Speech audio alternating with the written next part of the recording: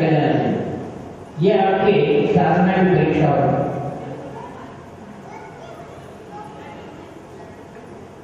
जब ऐसा नहीं हुआ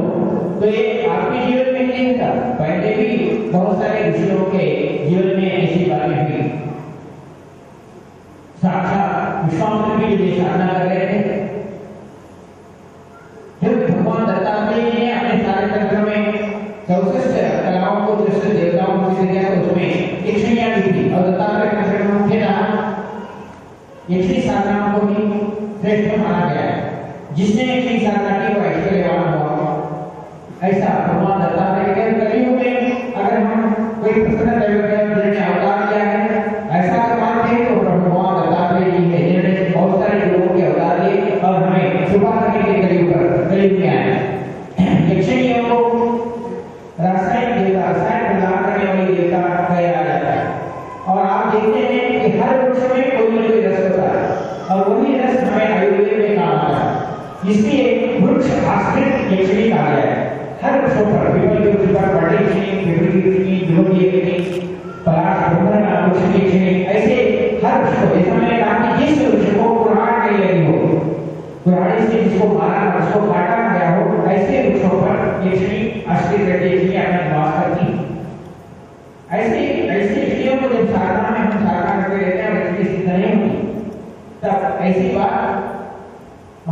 विश्वनाथ प्रभु की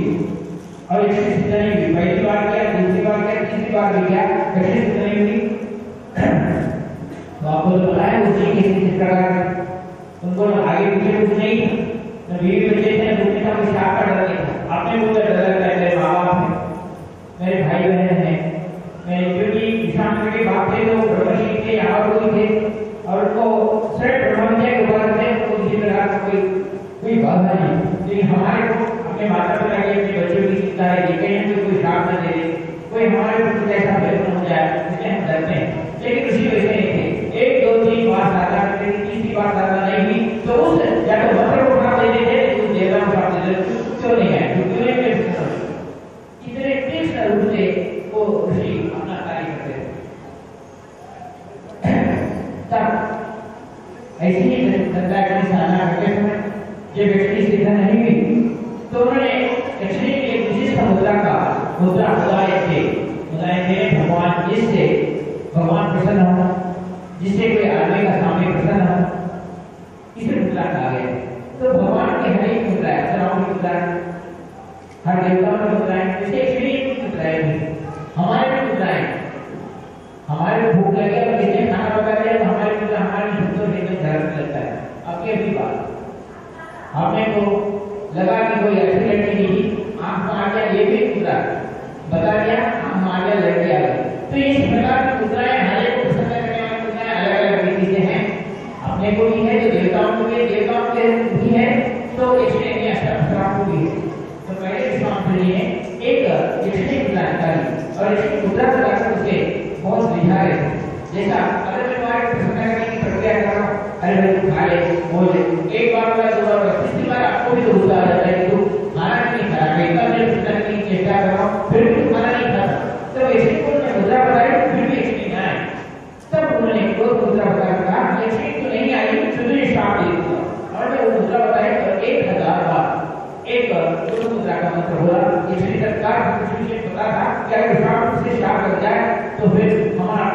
बहुत अच्छा होने वाला नहीं और उन्होंने उस मंत्र को बोलते हुए जैसा ही यक्षिणी को आह्वान किया यक्षिणी प्रश्न नहीं आता कि तुम्हें जो चाहिए मैं देख तुम्हें फिर मुझे श्राप कर तब से इकोनॉमिक ने कहा कि जो इस मुद्रा को बताकर एक हज़ार को मुद्रा का मंत्र करता है और एक मंत्र करता है, उसके सामने इसमें आगे खड़े रहेंगे ही मैं ये भी बात ये भी आज है कि गुरु का ही लेना चाहिए गुरु भी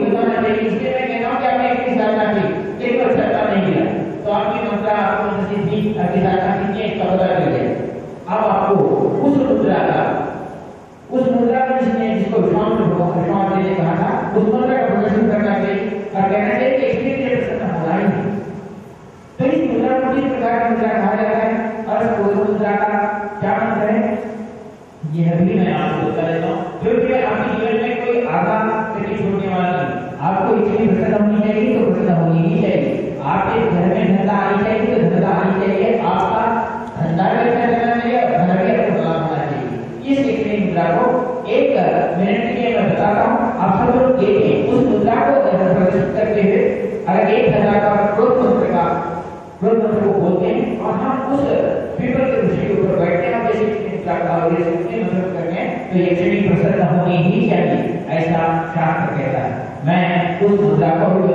जिससे क्षणी अपने को सिद्ध होती है। एक बार मुझे मुद्रा देखिए कि किस मुद्रा डाली जाती है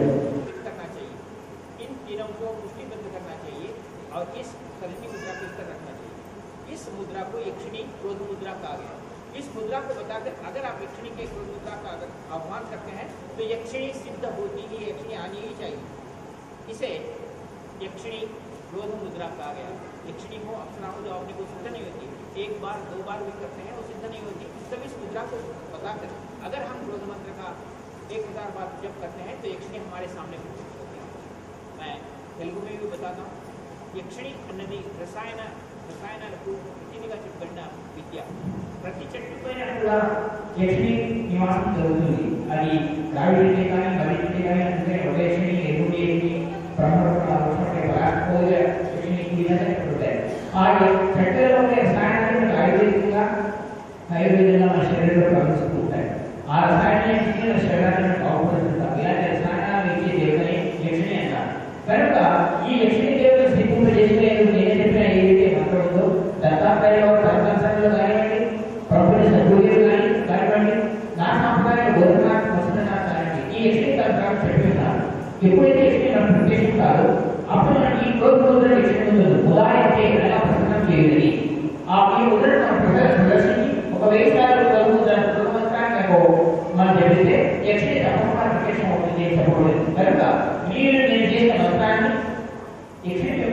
ಕಾರ್ಬನ್ ಎಲ್ಲ ಈ ಮೊದಲನೆಯದಾಗಿ ಪ್ರसिद्धि भगवान का तो वही साथ में रहेगा ये कितने स्थिति एक बार इस कनेक्टिका को वेस्टिंग करें कनेक्टिका मेडल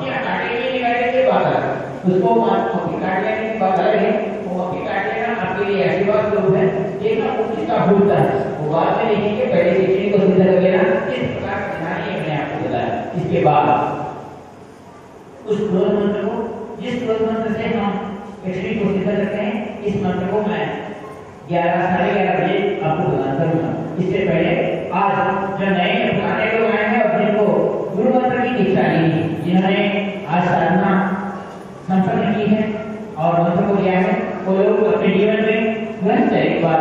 रिन्यू करें और गुरु मंत्र को ले लें, उस गुरु मंत्र का फिर गुरु मंत्र को मैं अभी दीक्षा के रूप में दे रहा हूँ। आप सब लोग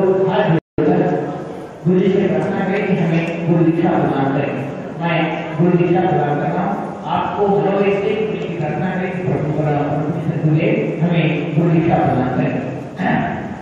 हाथ जोड़ें मैं ऐसा कहता हूँ, बताता हूँ।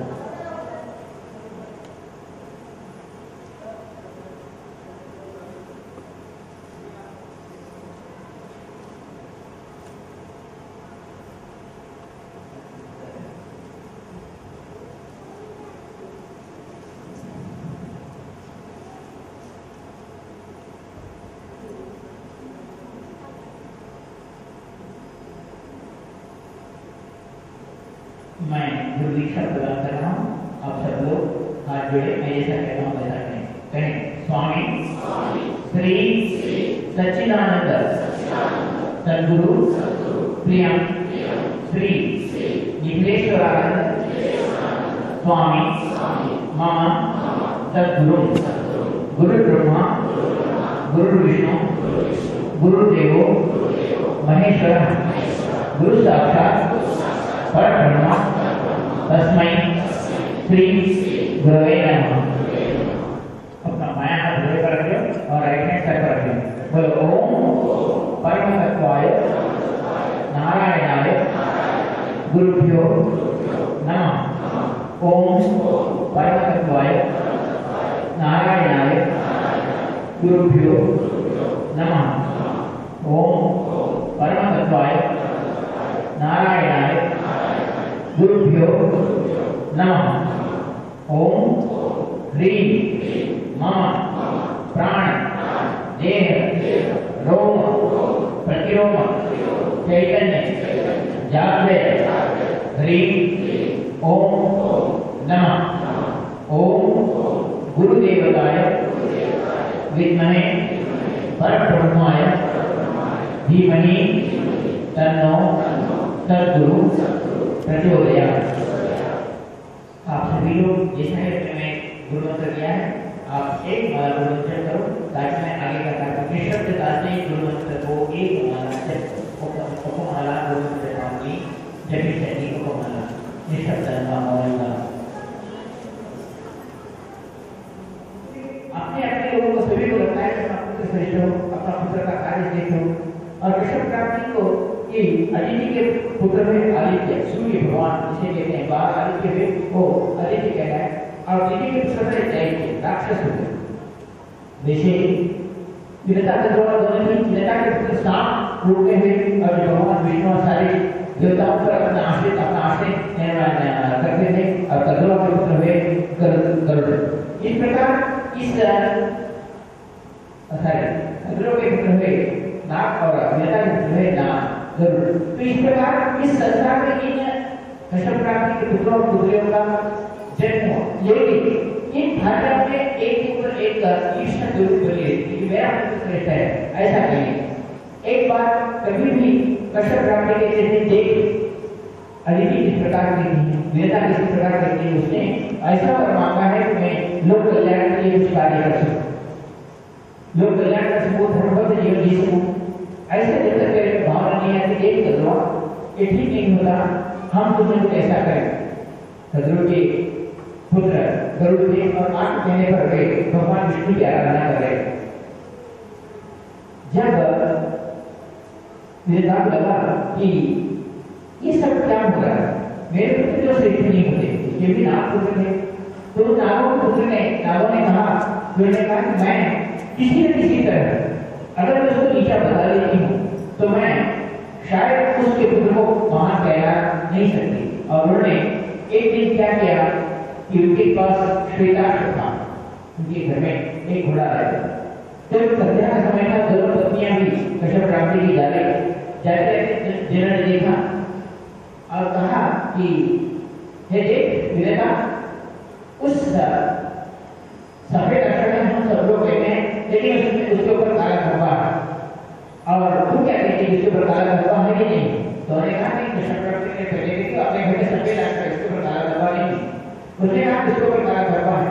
तो लगी शायद अगर उसके ऊपर काला धब्बा है तो मैं तेरी दासी बनकर जी जीवन जीव और नहीं है तो तू मुझे तू मेरी दासी बनकर जीना क्योंकि उसके जीवन में एक खोट था जो दासी मिल जाए उसको अपने मेरा दास दास बनकर है और भगवान के साथ इस प्रकार का बड़पन कश्यप प्राप्ति कभी ना करे कि वो वो मेरी पति बहुत अच्छी है जितना बुद्ध है ऐसा कहने की बात उन्होंने कही, और जब कहा कि ऐसा नहीं है? तो उन्होंने कहा कि देख, मैं बताती हूँ तुझके ऊपर। आज अपने आश्रम में जितने भी शिष्य हैं, उनको सबको बुलाती हूँ और बताया कि घोड़े के काला धब्बा है। उसने अपने एक पुत्र सांप को कहा कि जाकर उसके उसकी जो पूंछ है उसको कोई लड़ता है पाँच हुए सांप जाकर पूंछ को लपट गया और जो भी लोग आते हैं इनके सांप के ऊपर काला धब्बा है इसका हाथ काला धब्बा है सभी लोग कहते थे संचार समय था और सभी लोग कह रहे थे कि सांप के घोड़े के ऊपर काला धब्बा है इस प्रकार कम से कम वहाँ के आए सभी शिष्यों ने ये बात निर्धारित कर दी कह दी कि यहाँ काला धब्बा है जब सांप की कुछ प्रारंभ होता है तो उसे नेता को अपनी तलवार के पास दासी की कारण वो दासी होती है क्योंकि उसने कहा था जो जीता उसको एक एक दासी बनी है जब दसवीं बनी तो उसने उसको उसने क्या कहा कि ये काम कर, वो काम कर, और उसके पुत्र गरुड़ को कभी तपस्या करनी है, ध्यान, समाधि, ऐसा करने नहीं दी उसका एक उसका एक विचार था कि इस चीज़ के पुत्र को महान बनने नहीं देना। और इसके इसके धर्म के पुत्र को महान बनने जब मेरे पुत्र को बचेंगे तो इसके पुत्र भी नहीं बनेंगे और उसने तपस्या इस तरह की इस ऐसा देश के कारण कि ऐसा काम करती जिसको अपने माँ के पुत्र को करना ही होता तब मुझे को लगा कि ये कितने दिन मेरी माँ को ऐसा समझाना पड़ेगा मैं कितने दिन साथ बिना साधना के हूँ बिना इस प्रकार के ऐसा जीवन जी जबकि करुण को भी और नाग को भी यक्षिणियाँ सिद्ध थी उनके पास सब कुछ था लेकिन इस एक के कारण इस एक द्वेष के कारण दासत्व के कारण उसको ये सब होना तो मैं यही कह रहा हूँ तुम्हारे पास अगर धन भी बहुत एक्चुअली में ही है लेकिन उससे भी बड़ा तो देवता ने तुम्हारा धन भी और कुछ तब अच्छा करे तब यही काम करुण ने भी पूछा अपने भगवान विष्णु के पास गए और कहा कि प्रभु ये मेरी माँ का दासत्व कैसे छूटे तो कहा जिस माँ ने मुझे कहा है कि दासत्व क्या है, वही तो छोड़ सकती है। वही दासत्व को छुड़ा सकती है। अब उसे उसको दासत्व छुड़ा के कैसे तब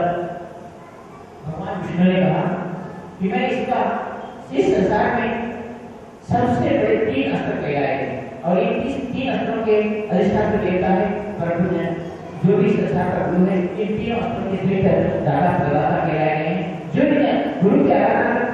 करने वाला आदमी इन तीन अस्त्रों को अपने पास रखता है और संसार के हर अस्त्रों को हर मंत्र को जीत सकता है मैंने इस बार महाशिवरात्रि के जो मेरा जन्मदिन था दिन आपको पाशु का प्रयोग किया पाशु का ये शिव जी का प्रयोग कहा गया है। जो अपने पीछे पशु महाराज निकाल देता है। दूसरा अस्त्र कहा गया है नारायण। नर जो बनता है, वो नारायण अस्त्र का नारायण का पास करने के लिए जो अपने ऊपर होने वाले सारे तंत्रों का नाश करता है। उसके सामने जो नारायण अस्त्र का प्रयोग करने वाला नारायण अस्त्र का रोज एक बार करने वाला होता है, उसके ऊपर किसी प्रकार का आदमी कोई तंत्र नहीं कर सकता करता है तो वो वो सब नारायण अस्त्र प्रयोग करने का जो उल्टा उसी को चला जाता है एक गुरु होता है इसलिए को गुरु ब्रह्मा गुरु विष्णु गुरुदेव हमेशा रखते हैं पहला हम पशु का सीख चुके पशु का पाठ का मतलब होता है हमारे ऊपर ऐसे ऐसे करना हमारे पशु भावना रखना हमारे उसका लुक करना ऐसा करना ताकि सो सो जाना अपने खाने के लिए लेना अपने जीने के लिए लेना अपना ही नींद लेना अपना ही सुन लेना ये पशु की भावना क्या करता है पशु करता है अपने को खाना ढूंढता है खाना खा के जाके सो जाता है फिर करता है घर को बजा करता है ये पशु का है इस पशु के पास से छूटने वाली क्रिया को का पशु करते हैं। ये मैंने आपको महाशिवरात्रि दिन दिया आज आप पशु पशु से जुड़े तो हो गए नारायण हो गए नर तो नर के लिए क्या ऐसी चीज़ चाहिए जिसमें कोई भी किसी प्रकार का तत्व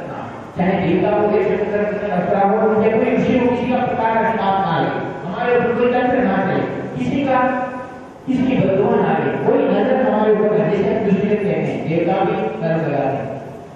देवता भी ऊपर दृष्टि करते हैं। लेकिन जिस, जो जीवन में अपने नारायण को प्रयोग करता है और नारायण को अपने पास रखता है उसके ऊपर किसी प्रकार का तंत्र काम नहीं करता। चाहे वो कोई देवता भी, देवताओं के हो जैसे तो कृष्ण ने भी अपने ऊपर काम किया गया हो तो उस काम की छूट हैं। तब उस समय गरुड़ गरुड़ भगवान विष्णु से कहते हैं मैं इन से आपकी आराधना कर रहा हूँ। भी मेरी माँ दासी करके उसके कुतंत्र से। और विष्णु जानते हैं कि हाँ गरुड़ उसने कुतंत्र किया है। अपने सांप को उस घोड़े की पूंछ को लगाकर उसने दांत बता करके माँ को दासी बनाया है ये एक तंत्र है और वो दासी की लेकिन जब स्वीकार किया है तो दासी करना है। अब दासी ने छुड़ा, छोड़ने के लिए उसी को करना है। काम अगर ये वचन से छूट जाती मेरी माँ तो उसका काम अलग होता है। इसलिए वो ही कहे कि मैं मुझे दासी से दासी मुक्ति, दासी से मुक्ति दिया तो दासी विधान से दासी मुक्ति से मुझे मुक्ति दी तो वही जिसने दासी मुक्ति दी है, उसे वही मुक्ति दी है वो तो मानेगी, वो कैसे मानेगी? दासी मुक्ति कैसे होगी तब क्या करना चाहिए जी को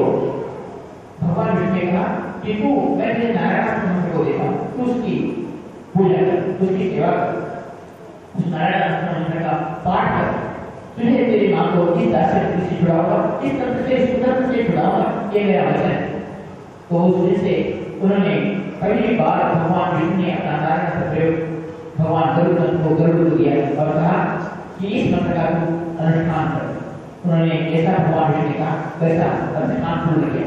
जैसा ही अनुष्ठान पूर्ण किया, महाराज परीक्षित ने नागयज्ञ का आरंभ किया और उस नागयज्ञ में हुआ ये कि कद्रुआ के जितने भी पुत्र थे, सारे उस यज्ञ में जाकर जलने लगे भस्म होने लगे।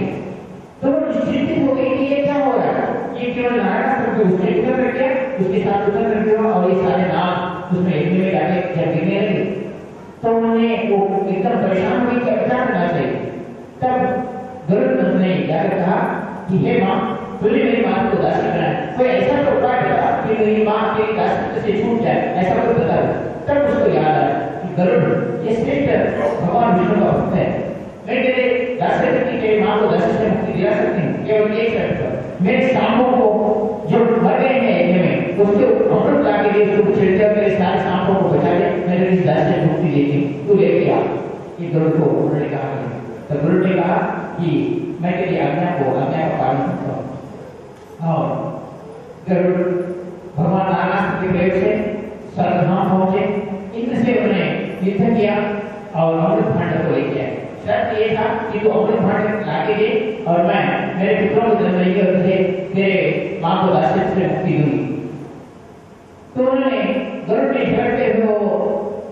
अमृत का भांड लेके आया अमृत का भांड लेके आया और कदुआ के पास में तुमने जैसा कहा मैं अमृत भांड लेके आया अब कहो कि मेरी माँ दासी से दासित्व से मुक्ति हुई। उसने कहा हाँ तूने अमृत भांड लाया, ये ले मैं देता हूँ। पहले तो होता नहीं कि मेरी माँ दासी से मुक्ति हुई। उसने कहा, दासी से मुक्ति हुई। ये बात ये बात मेरे पिताजी के सामने, और जिन लोगों ने पुत्र किया उनके सामने जो बात बोली तो दासी से मुक्ति होगी। कि दासी से उसे मुक्ति मिली तब उन्होंने कहा कि सभी के सामने कहा कि दासी से मुक्ति की जैसा कि ये बात कही करुण ने बिना अमृत का भांड उसके हाथ में ले उठाया तेरा वचन था कि मैं अमृत भांड ला के देना सांपों को उन्हें डाले का बाद में तूने मुझे पुत्र किया था मैं तेरे साथ पुत्र कर रहा हूँ मेरी माँ दासी से मुक्ति होगी मैं अमृत भांड ले जा रहा हूँ तब इनका पुकार के हुए कि माँ तूने ऐसा क्यों किया तूने ऐसा क्यों किया? उसने कहा तू जिस दिन उस सफ़ेद सांप को पुत्र के साथ सांप के पूंछ को लटका कर मेरी माँ को धोखा दिया था, आज उसका फल हो गए तूने अमृत भांड लाने के लिए कहा था मैं लाया ये बात नहीं कही तो अमृत भांड बोली मेरे हाथ को दे दे क्या आप मेरे सांपों को डाल ऐसा नहीं कहा अमृत भांड लाया दिया मैं ले जा रहा बहुत देर रहता कदुआ होती है, ये क्या हुआ? मैंने धोखा दिया मेरे साथ धोखा हुआ। तब कैसे ब्राह्मणी की बात हुई और कहा कि ये सब क्या हो रहा है? देखो, मैंने ऐसा तो कहा कि बात कर, अच्छी जीवन जीने की ऐसे कुशल प्रबंध किया कर जिससे साफ़ होना है आज गवा एक अच्छी धर्मबद्ध स्त्री के ऊपर तुमने प्रयोग किया था और तुझे इसके कारण सारा होना पड़ा तब उसने कहा कि मुझे क्या करना है क्यों मुझे ये बात नहीं कही कि तेरे पुत्र की भगवान नारायण की स्तुति करें भगवान नारायण की की आराधना करें ऐसा क्यों नहीं क्यों नहीं तू सोचती तू भी सोचती तेरे पुत्र लोग कल्याण के लिए काम है तब कद्रुआ ने ऐसा प्राप्ति करके पति की बात सुनी और कहा कि मैं आप जैसा कहते हैं वैसे कहते अपने सारे पुत्रों को कहा कि आज से आप भगवान नारायण की स्तुति करें वो सारे पुत्र कद्रुआ कद्रुआ नारायण भगवान नारायण की स्तुति करें तो नारायण स्तुति को करने लगी तो भगवान विष्णु ने प्रत्यक्ष हुए कहा कि क्या तुम्हें क्या चाहिए तो उसने कहा